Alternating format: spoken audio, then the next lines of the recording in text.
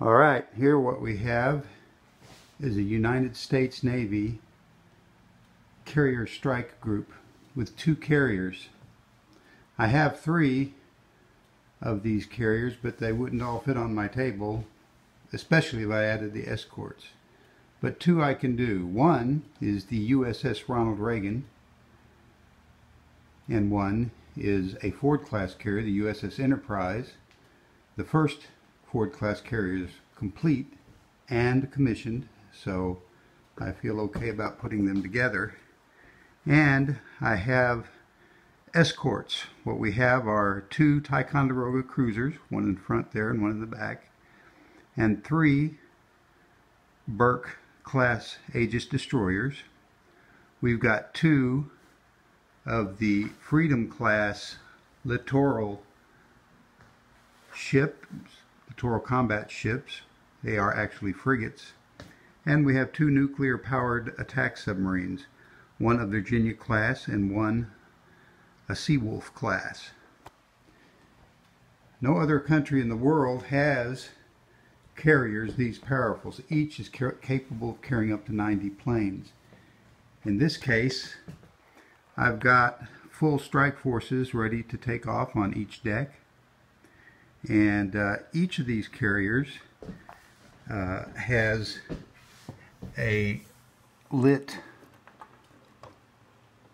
um, hangar deck. So as you can see inside of each carrier they have their aircraft preparing. Now this is a very powerful task force. Each of the cruisers has 128 vertical launch missiles. Each of the destroyers has 96. The vertical launch system on U.S. ships is capable of carrying four packed ESSM, which are Evolved Sea Sparrow missiles in one vertical launch cell. So they will carry up to eight of those cells with four medium range Evolved Sea Sparrow missiles. That'd be 32 each times five ships. The carriers also carry Evolved Sea Sparrow missiles for defense. And then each uh, each of those vertical launch cells, including 12 cells on each uh, of these particular subs, uh, can carry Tomahawk cruise missiles, either sub-launched cruise missiles, SLCM, or the uh, ones that are launched from the destroyers.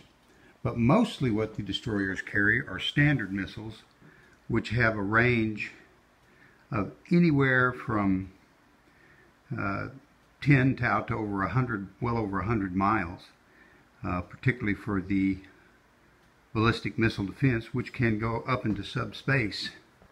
So these carriers are very well protected. And the United States has 11 carriers, and uh, they are all that powerful. And every one of them has this type of a defense force surrounding them.